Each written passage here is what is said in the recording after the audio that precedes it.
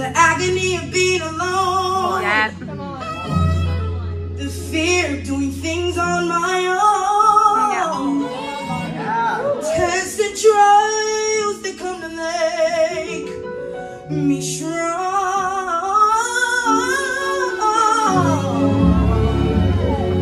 The feelings of guilt, hurt, shame, and defeat.